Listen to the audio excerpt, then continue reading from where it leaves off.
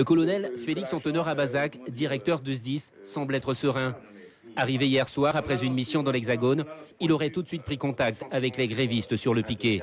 Sa seule exigence, libérer les entrées de l'état-major avant l'entame de tout dialogue. Mais dans le fond, pour le directeur du SDIS, ce mouvement est incompréhensible, n'avait pas lieu d'être. Cette mobilisation cacherait d'autres intentions.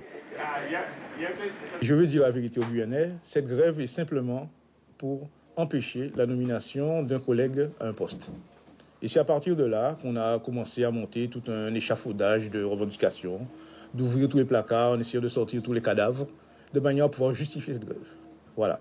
Mais, et puis, euh, je ne mens pas, les résultats sur le terrain, le taux de grévistes n'a jamais atteint 10%.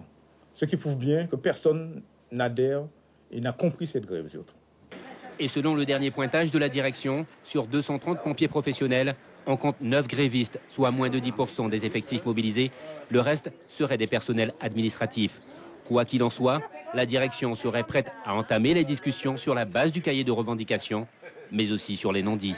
Je leur ai de me donner le temps de préparer leur cahier de revendication, qui a encore aussi des incohérences. On me demande par exemple d'appliquer des textes qui n'existent pas encore.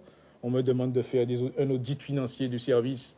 Le service a subi déjà deux audits financiers depuis mon arrivée. Alors je ne sais pas qu'est-ce qu'on peut faire encore. Voilà, on va répondre à ça. Évidemment, on va dialoguer. Et on va voir enfin éteindre certains éléments qui ne soient soit pas compris, soit mal exprimés. Après 13 jours de grève, grévistes et direction devraient se retrouver autour de la table de négociation d'ici ce mercredi.